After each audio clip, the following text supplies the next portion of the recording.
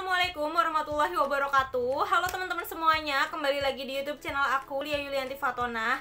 Nah di video kali ini aku akan memberikan tutorial Gimana cara memproses orderan di tiktok ya teman-teman Nah buat teman-teman nih yang punya toko di tiktok Kalau misalkan nanti ada yang order ke kalian Tapi kalian belum tahu gimana cara proses orderannya Kalian bisa tonton video aku sampai selesai Karena aku bakalan bikin tutorialnya Gimana cara proses orderan dari tiktok ya teman-teman Nah sebelum lanjut ke videonya Pastikan kalian udah tekan tombol subscribe di bawah karena subscribe itu gratis dan kalian juga jangan lupa untuk nyalakan tombol loncengnya atau tombol notifikasi di bawah supaya kalian gak ketinggalan kalau ada video-video terbaru lainnya dari aku. Oke, tanpa berlama-lama lagi sekarang kita langsung aja ke tutorialnya. Oke guys, dari mana kita tahu kalau sudah ada orderan di TikTok Shop? Nah, sekarang kita tinggal buka aja aplikasi TikTok, kemudian ke profil. Nah, dan kalian klik TikTok Shop. Oke guys, kemudian kalian tinggal masuk aja.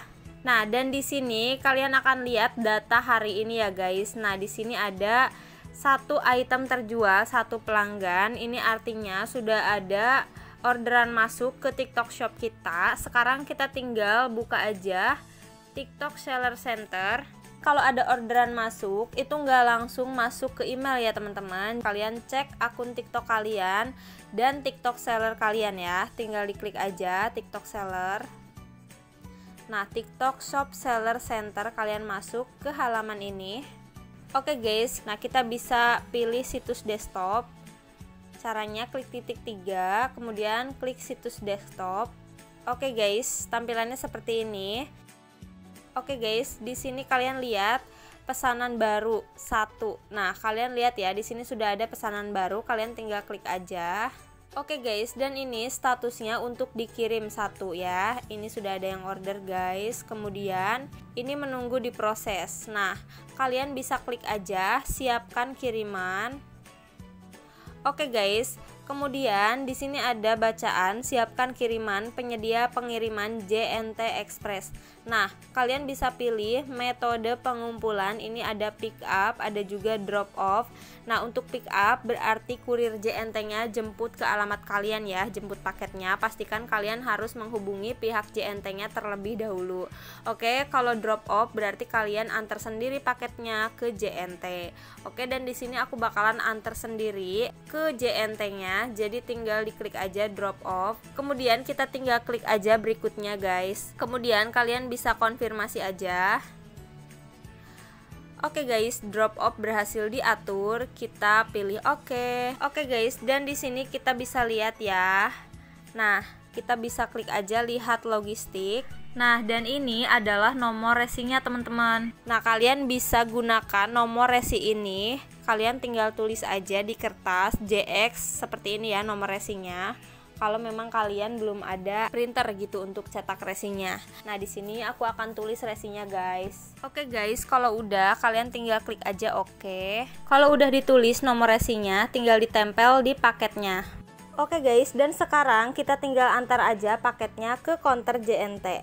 Oke, dan sekarang aku mau cek lagi, klik kelola pesanan, kemudian kita cek status pengirimannya ya teman-teman. Oke, sekarang statusnya sudah berubah jadi dalam pengiriman satu ya. Tadinya kan untuk dikirim, sekarang berubah jadi dalam pengiriman. Kita tinggal tunggu aja hingga pesanan sampai ke customer. Cek pesanannya, buka aplikasi TikTok Seller, Nah, kemudian tinggal cek aja teman-teman status paketnya.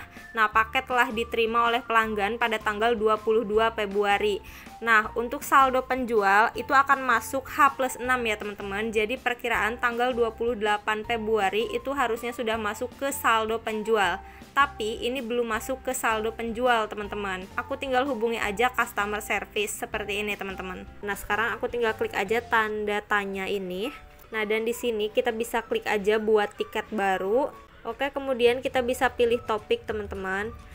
Nah, dan di sini aku pilih keuangan. Kemudian kita bisa klik lagi pertanyaan mengenai tagihan. Oke, kita pilih subtopiknya.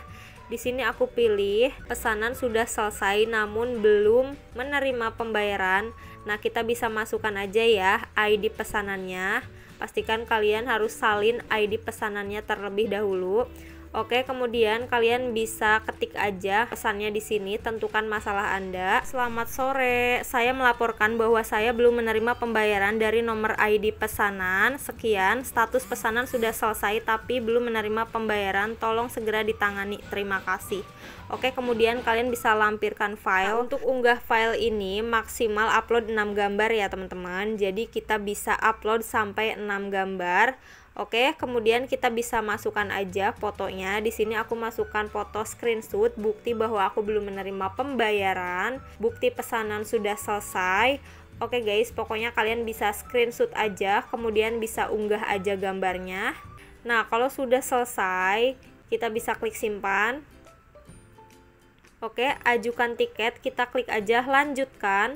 Oke, tiket Anda telah dikirimkan dan tim dukungan platform akan membalasnya dalam 48 jam. Kita tinggal tunggu balasan aja. Oke guys, dan awalnya tim TikTok itu bales kalau saldo penjual itu akan masuk H plus 6 setelah barang diterima oleh customer. Nah, kemudian aku bilang lagi ke pihak TikToknya kalau pesanan sudah lebih dari 6 hari, teman-teman. Kemudian balasannya seperti ini.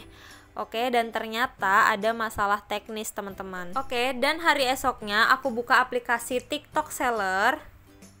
Nah, dan di sini aku klik keuangan. Oke, dan sekarang saldonya sudah masuk ke saldo penjual. Di sini nominal tersedianya 49.500 berarti dipotong 1% ya, teman-teman. Oke, jadi saldo yang aku terima 49.500. Nah, untuk cara tarik uangnya kita bisa klik aja tarik uang Oke guys, kemudian kita bisa masukkan aja jumlah saldo yang akan ditarik. Nah, di sini aku akan menarik semua saldo 49.500. Oke, kemudian kita bisa klik aja tarik uang sekarang, konfirmasikan untuk menarik uang. Nah, penarikan uang sedang berlangsung. Oke, kita bisa klik aja kembali. Nah, dan sekarang saldo tersedianya 0 guys. Artinya saldonya itu akan ditransfer ke nomor rekening.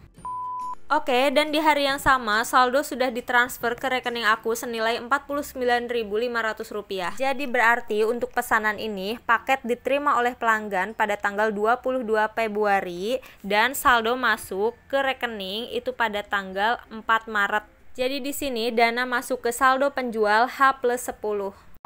Oke guys, itu dia tadi tutorial cara proses orderan dari TikTok Shop ya teman-teman. Nah, buat teman-teman yang masih bingung, teman-teman bisa tanya aja di kolom komentar. Nah, buat teman-teman yang mau request aku bikin video apa lagi, tinggal komen juga di bawah. Buat kalian yang belum subscribe, jangan lupa untuk dukung channel ini dengan cara subscribe, like, komen, dan share video ini ke media sosial yang kalian punya. Jangan lupa juga untuk nyalakan tombol loncengnya supaya kalian tahu setiap aku update video-video terbaru lainnya. Sampai jumpa di video-video aku selanjutnya. Bye-bye. Wassalamualaikum warahmatullahi wabarakatuh.